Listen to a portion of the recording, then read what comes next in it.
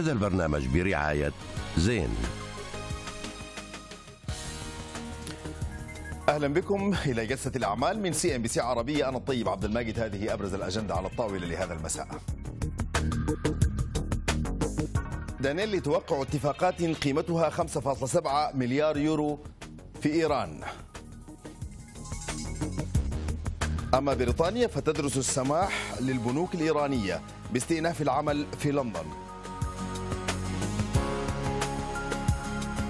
ومصر تستهدف خفض فاتورة وارداتها بنسبة 25% خلال العام الحالي.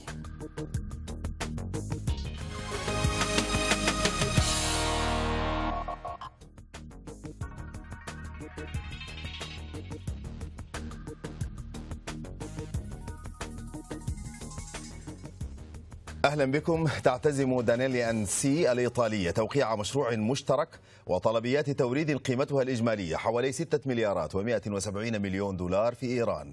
وأوضحت الشركة أن المشروع المشترك يتعلق بصناعة الفلزات وتقدر قيمته بنحو ملياري يورو وسيكون بمشاركة مجموعة من المستثمرين الإيرانيين والأجانب. وسيستخدم المشروع خام الحديد والطاقة لإنتاج المكورات. تدرس الجهات الرقابية البريطانية السماح لبنكين إيرانيين في لندن باستئناف النشاط بعد سنوات من العقوبات.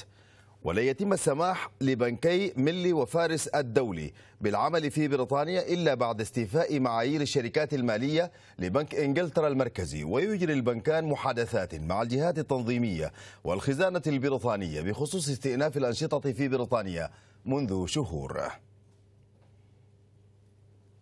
وقعت سايبما الإيطالية مذكرة تفاهم مع إيران للتعاون في مشاريع رئيسية وأوضحت شركات الخدمات النفطية الإيطالية أن المذكرة الموقعة تتعلق بتطوير وتحديث مصفاتي التكرير بارس شيراز وتبريز.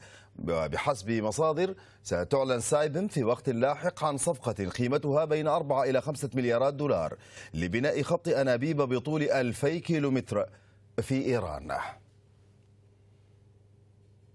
تعتزم بيجو ستروين عقد اجتماع لمجلس الإدارة لمناقشة فرص العمل في إيران ومن المتوقع أن تشهد زيارة الرئيس الإيراني لأوروبا توقيع صفقات واتفاقات بمليارات الدولارات في شتى القطاعات مع سعي إيران لإنعاش اقتصادها وبحسب مصادر صحفية إيرانية. قد تضع إيران خودرو وبيجو اللمسات الأخيرة على مشروع مشترك قيمته 541 مليون دولار لإنتاج سيارات بيجو في إيران.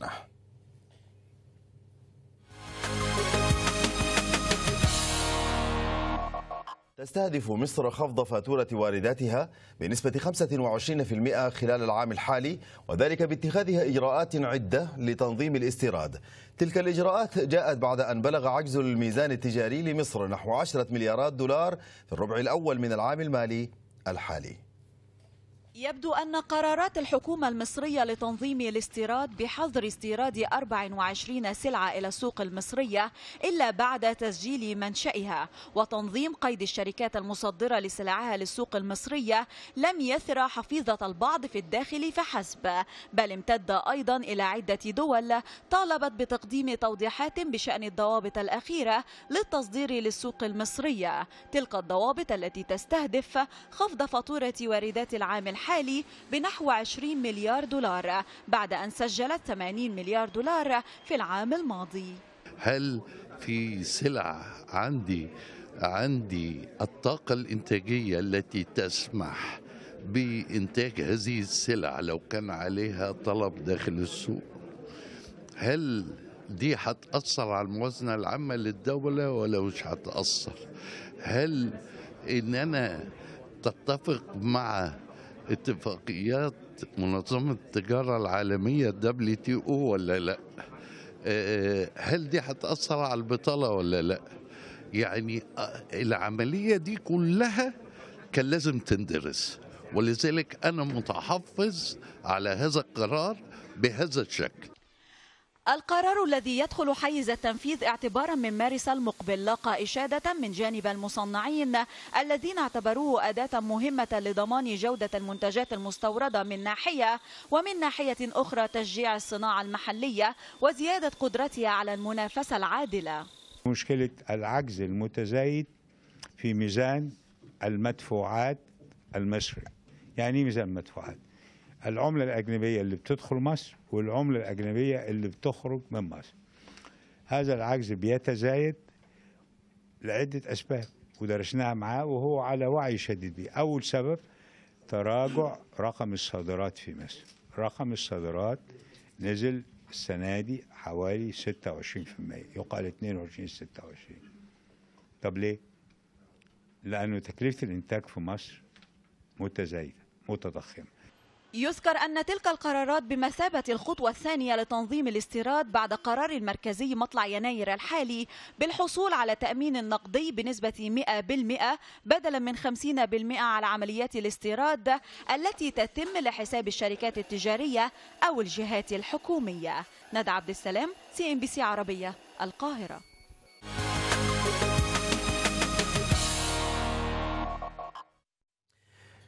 ذكرت شركة ديلويت المالية المحدودة بأن القطاع العقاري في دبي قد شهد نموا يفوق من حيث النطاق والمستوى أي سوق عقاري آخر في العالم خلال الثلاثة عشر عاما الماضية إلا أنه قد عانى كغيره من الأسواق الإقليمية والدولية من آثار الأزمة المالية العالمية. كشفت ديلويت بأنه على الرغم من التحديات التي تواجه القطاع العقاري في دبي فإن هذا القطاع يوفر عددا من التوقعات الإيجابية لعام 2016 معي هنا في الاستوديو السيد روبن ويليامسون مسؤول القطاع العقاري في ديلويت المالية المحدودة. اسمح لي أن أرحب بك معنا.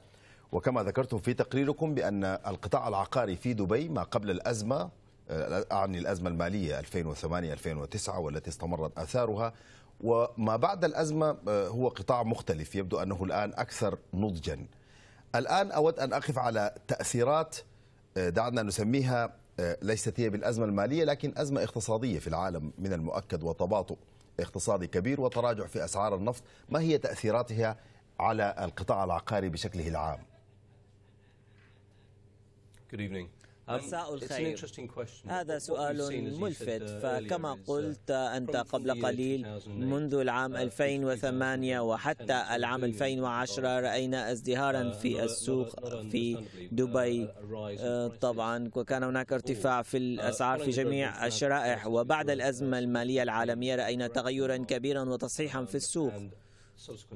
وبعد ذلك كانت هناك عودة إلى الوضع الطبيعي وما نراه حاليا هو أن الأسواق بدأت تنضج وهذا الأمر مرتبط بعوامل خارجية لكن التأثير أقل مما كان في السنوات السابقة. نعم. سيد روبن التوقعات تشير إلى دخول حوالي 40 ألف وحدة سكنية ونحن نتحدث الآن عن القطاع السكني إلى السوق في العام 2016 لكن كثير من المقاولين والمتعهدين يقولوا بأن الرقم الأكثر واقعية هو عشرة ألاف وحدة. حدثني عن أداء القطاع السكني في 2015 ونحن نستشرف 2016 ما الذي سيكون عليه الوضع؟ بالنسبة لدبي وكما قلت نجد نضوجا في القطاع السكني في الإمارة حيث حصل تراجع في أسعار المبيعات بعشرة في المئة وكان هناك تراجع في الإيجارات بثلاثة في المئة. لكن هذه الأمور يجب أن توضع في سياقها. إذا نظرت إلى السنوات الأربعة الماضية فهذا يمثل معدل نمو سنوي مجمع باثني عشر في المئة. وهذا يضاهي ما نراه في لندن وسنغافورة وسيدني وباريس. إذا يجب أن ننظر إلى الأمور في سياقها. بالنسبة لموضوع تسليم الوحدات نعم أربعون ألف وحدة أشير إليها في الصحافة ونحن خضنا محادثات مع المتعهدين والمقاولين والرقم الأقرب إلى الواقع هو عشرة ألاف وحدة وهذا يعطي إحساسا قويا للسوق بأنه سيكون لدينا معروض أقل وهذا الأمر سيتوافق مع الطلب. نعم. هذا عن القطاع السكني. دبي كما تعلم وهي مدينة متميزة سجلت حضور كبير في العالم خاصة على مستوى العقار. أيضا تتميز باختلاف وجهاتها حتى داخل الإمارة. هل ينعكس ذلك على الأسعار؟ بمعنى أن هناك أماكن ربما لا يشملها التغير في الأسعار هي مرغوبة على الدوام وأماكن أخرى ليست كذلك. هل هناك مثل هذا التصنيف؟ كما قلت دبي تفوقت في الأداء على بعض الأسواق العالمية وهي تنضج. إذا أخذت قطاع الضيافة فهو يخضع لقوى محركة مختلفة. ونحن توقعنا تراجعا طفيفا في معدل الإشغال بنسبة 1.4% وتراجع في المعدل الوسطي للإيجارات ب 7.4% لكن هذا الأمر يجب أن يؤخذ ضمن سياقه العام. فنحن في مستوى مدن مثل برلين. وباريس. وطبعا هذا الأمر متأثر بالسياحة. وإذا نظرت إلى السوق السياحية في دبي فنحن رأينا 14 مليون زائر يأتون إلى دبي العام الماضي وهذا نمو ب 8% إذا هناك قوة في السوق السياحية في دبي. سيد روبن ماذا عن القطاع المكتبي؟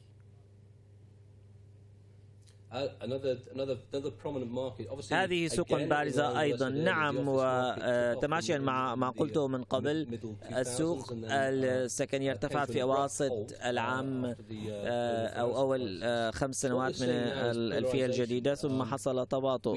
حاليا هناك استقطاب هناك بعض المراكز المرغوبة منطقة مثل مركز أو سوق دبي المالي العالمي فيها آه، آه، منتجات ممتازة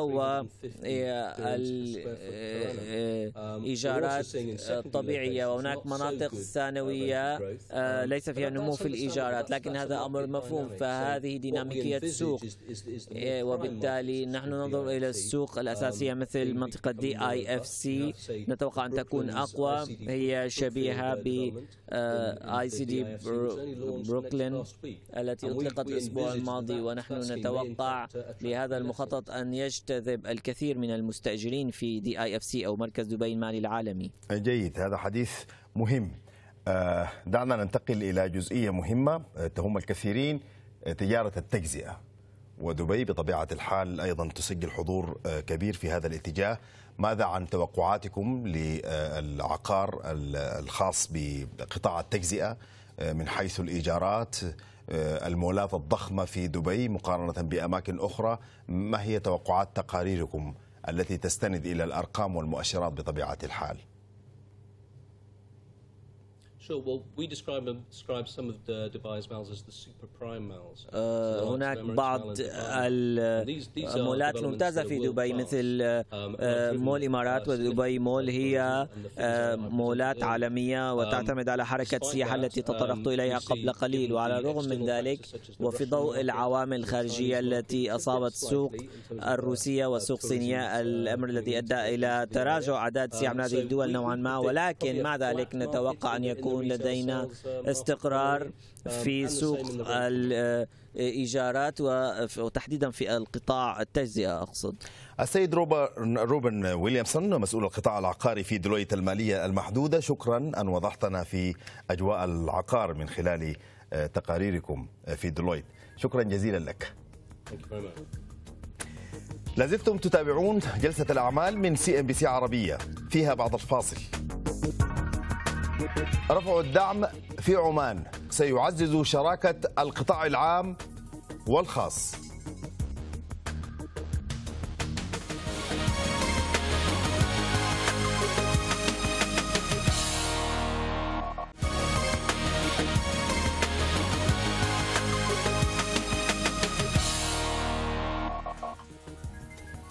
أهلا بكم. من جديد ذكر الرئيس التنفيذي لمؤسسة البترول الكويتية بأن المؤسسة تدرس استخدام السندات والصكوك وسندات المشاريع لتمويل مشاريعها المستقبلية وأشار إلى أن المؤسسة وشركاتها التابعة سيركزون على قطاع البتروكيماويات لتحقيق التنوع الاقتصادي متوقعا بأن يتم إنفاق ما يقارب المئة مليار دولار من الاستثمارات خلال السنوات الخمس المقبلة لتحقيق التوجهات الاستراتيجية المعلنة. قال رئيس هيئة الطيران المدني السعودي سليمان بن عبد الله الحمدان في حديث خاص ل CNBC عربية. قال إن الخصخصة هي أحد محاور الخطط الاستراتيجية لدى هيئة الطيران المدني وأشار إلى أن الهدف الرئيسي منها هو مشاركة القطاع الخاص في القطاعات الحيوية والارتقاء بمستوى الخدمة. الخصخصة هي حقيقة أحد المحاور الرئيسية في الخطة الاستراتيجية التي يعتمدها مجلس إدارة الهيئة العامة للطيران المدني منذ فترة قريبة وهو حقيقة هذا البرنامج هو امتداد للاستراتيجيات السابقة. كما تعلمين كما يعلم الأخوة والأخوات المشاهدين أن المملكة حقيقة شاسعة الأطراف يوجد فيها 27 مطار والهدف الرئيسي من آه، برنامج الخصخصة واحد آه، اللي هو الارتقاء في مستوى الخدمات.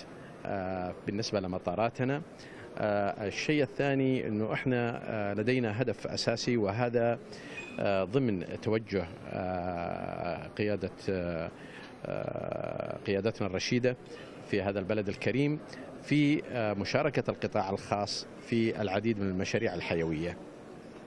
الخصخصة لا تنحصر فقط على المطارات تحديدا وإن كانت هي أحد الأهداف الرئيسية آه، وإنما آه، نحن لدينا توجه حقيقة آه، يعني واضح بالنسبة إلى تحرير السوق. من جانبه قال وزير التعليم السعودي أحمد العيسى إن الوزارة تعتزم تحويل بعض المدارس الحكومية إلى مدارس مستقلة تعمل من خلال مؤسسات اقتصادية. وأضاف في لقاء مع CNBC عربي على هامش منتدى التنافسية الدولي أن الوزارة تسعى إلى تمويل إنشاء المباني التعليمية الحكومية بالشراكة مع القطاع الخاص.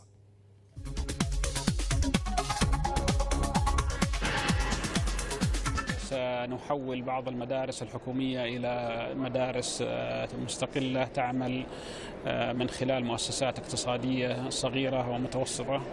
ونتمنى أن يشارك فيها التربويين بشكل أساسي الذين لديهم خبرة في مجال التعليم في تأسيس هذه المدارس وفق شراكة مع الوزارة وبدعم الوزارة فيما يتعلق بالمناهج وما يتعلق بالمعلمين وبما يتعلق بالمنشآت التعليمية. آه، وفي الهدف طبعا هو آه، إيجاد آه، بيئة الإدارية والتعليمية مختلفة.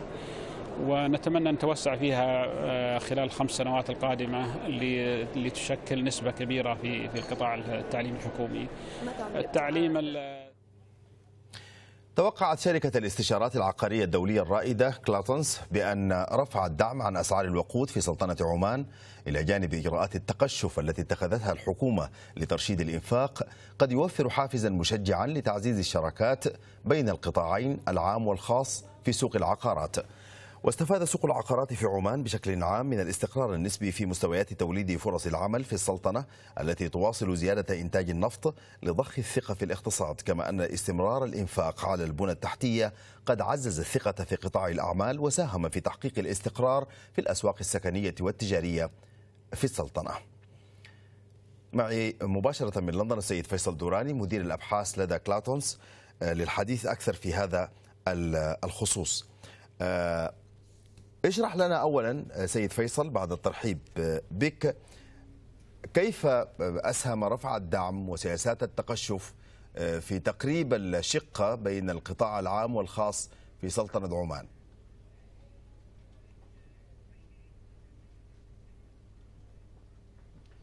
Good evening. مساء الخير.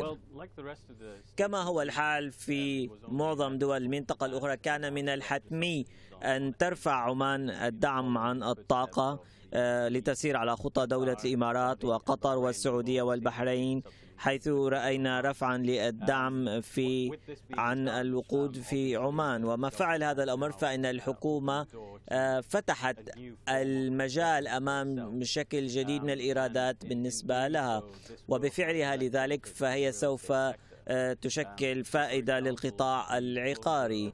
فإغلاق آه، ميناء السلطان قابوس العام الماضي خلق مركزا جديدا لإعادة التطوير في المدينة وهناك خطط لإنشاء 1500 غرفة فندقية ومئات شقق سكنية وأيضا منتجعين جديدين. ومن الناحية التاريخية القطاع أو المستثمرون العقاريون لم يكونوا قادرين على الاستثمار على نطاق واسع في عمان و كل آه، العمليات كانت تمول عن طريق الحكومة. إذا للمرة الأولى لدينا فرصة للمستثمرين الدوليين للدخول والمشاركة في تمويل مشروع أيقوني.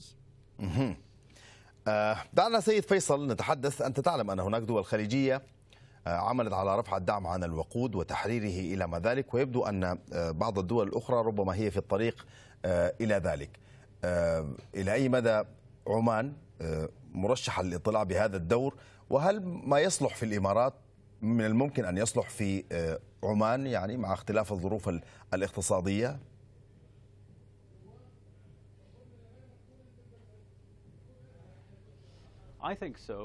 نعم أعتقد ذلك. ففي الإمارات آه، الوقود آه، أو دعم الوقود شكل 7% من الناتج المحلي الإجمالي وهذا جزء أساسي من دخل البلاد. والحكومة قبل ستة أشهر في الإمارات قررت رفع الدعم عن الوقود بصورة تدريجية والانتقال نحو نظام تتحدد فيه أسعار الوقود بشكل يومي. وعندما حصل هذا الأمر قبل ستة أشهر بين عشية وضحاها رأينا أسعار الوقود تتراجع ب 30 إلى 40% وهذا الأمر ترك تبعات كبيرة على السوق الصناعية. هذا يعني أن إنتاج السلع آه، باتت أقل وهذا الأمر سينتقل إلى المستهلكين. عمان اتخذت الخطوة بعد ثمانية أشهر من الإمارات برفع الدعم عن الوقود آه، من أجل تنشيط اقتصادها في هذه الفترة الجديدة أو الحقبة الجديدة من انخفاض أسعار النفط. ونحن نعتقد أنه سيكون لدينا تأثير مشابه على الاقتصاد العماني. آه، كما تعلم سلطنة عمان آه، سيد فيصل هي دورة دولة تعتمد على النفط بشكل رئيس. الآن في ظل تدهور هذه الأسعار هي في حاجة وحاجة ملحة. إلى إيجاد بدائل آه، ما هي الميزة النسبية للسلطنة في هذا الاتجاه؟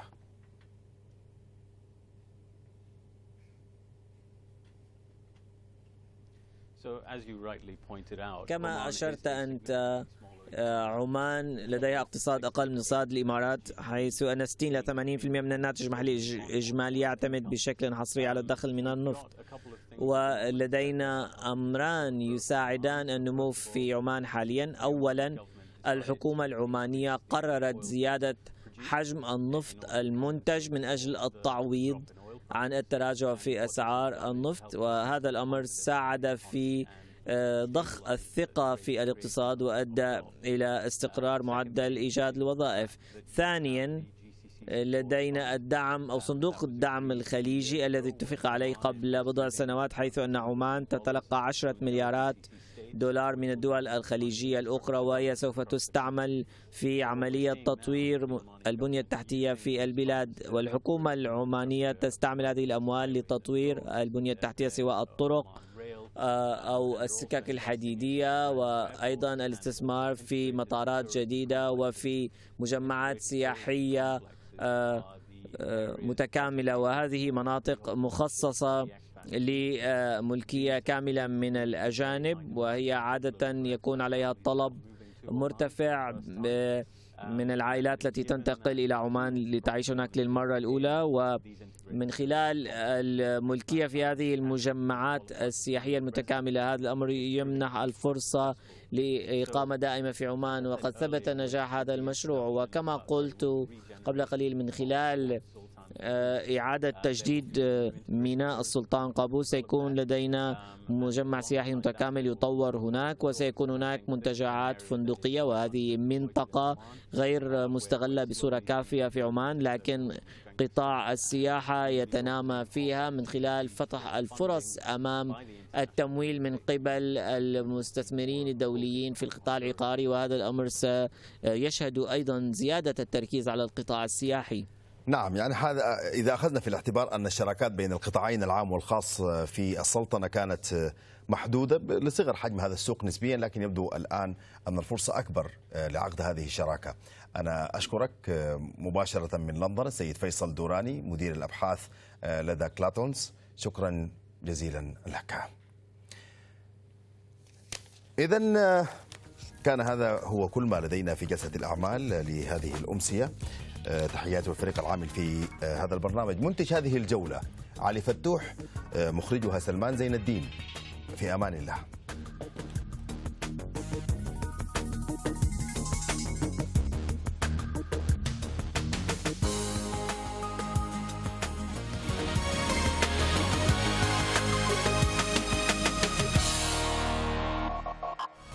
هذا البرنامج برعاية زين.